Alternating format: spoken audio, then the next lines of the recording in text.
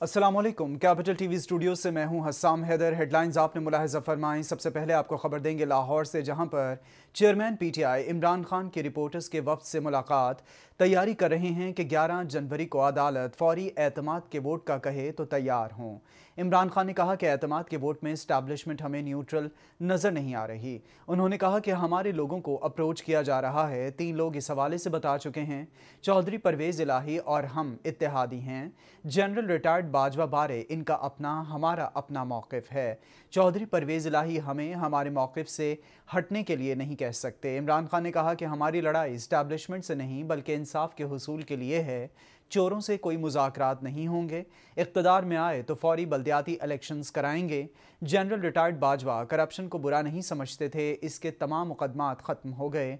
लूटों कोई expiry date ख़त्म हो चुकी। चेयरमैन पीटीआई इमरान खान ने कहा कि मुल्क में जंगल का कानून, इंसाफ की ज़रूरत अमीर को नहीं, गरीब को होती है। आपको अपडेट कर रहे हैं लाहौर से, जहाँ पर चेयरमैन पीटीआई इमरान खान के रिपोर्टर्स के वक्त से मुलाकात।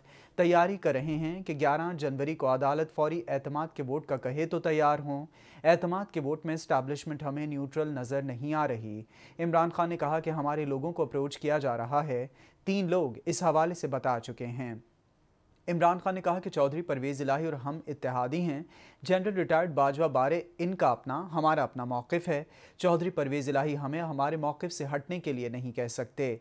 हमारी लड़ाई इस्टेब्लिशमेंट से नहीं, बल्कि इंसाफ के हसूल के लिए है। चोरों से कोई मुजाकरात नहीं होंगे। इकतदार में आए तो फौरी बल्दियाती इलेक्शन कराएँगे। जनरल रिटायर्ड बाजवा करप्शन को बुरा नहीं समझते थे। इसके तमाम मुकदमात ख़त्म हो गए।